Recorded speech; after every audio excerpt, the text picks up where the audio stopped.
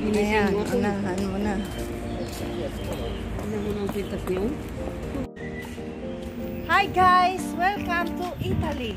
Welcome back.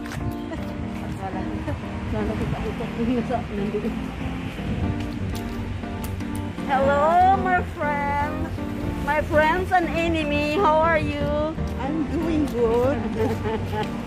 Thank God.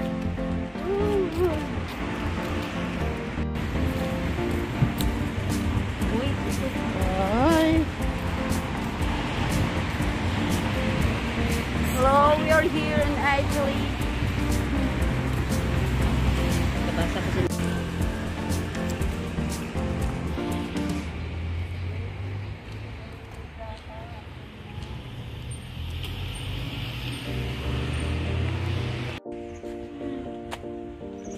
We're going to public market.